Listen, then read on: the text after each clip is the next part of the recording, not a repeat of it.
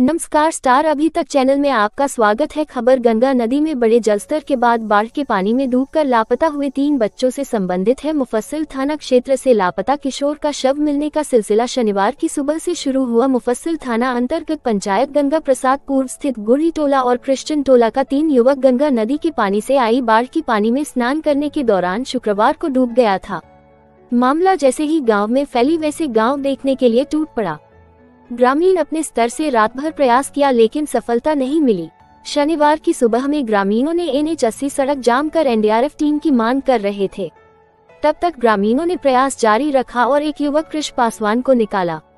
दोपहर बाद NDRF team घटना स्थल पर पहुँची और टीम ने रेस्क्यू कर दूसरा हनी उर्फ़ भोला भगत को निकाला लेकिन देर शाम तक तीसरे किशोर आदित्य कुमार को निकाला नहीं गया था। दो किशोर कृष पासवान और आदित्य कुमार दोनों चचेरा भाई है। तीनों दोस्त वर्ग नौ में पढ़ता था। तीनों किशोर अपने अभिभावक को यह कहकर शुक्रवार की शाम तीन बजे निकला था कि जाति, आवासीय प्रमाण पत्र स्कूल जमा करने के लिए जा रहे हैं। अचानक तीनों किशोर का गंगा नदी के बड़े जल स्तर के पानी के कारण आए बाढ़ की पानी में दोस्तों संग स्नान करने चला गया। तीन स्नान करने लगा और चौथा दोस्त सभी का साइकिल और कपड़ा देखने लगा। तीनों बाहर नहीं आया तो दौड़कर लोगों को खबर किया।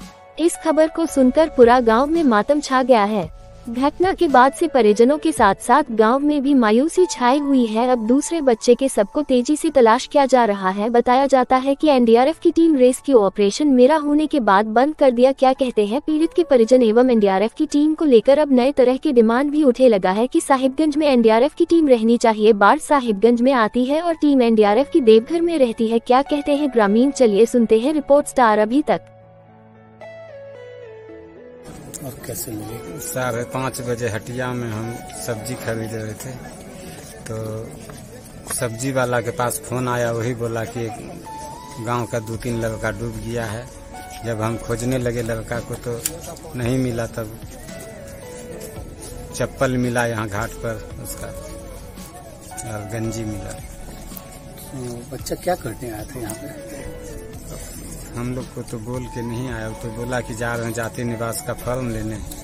हमसे पैसा भी लिया। पैसे इधर आ गया कभी तो नहीं आता था।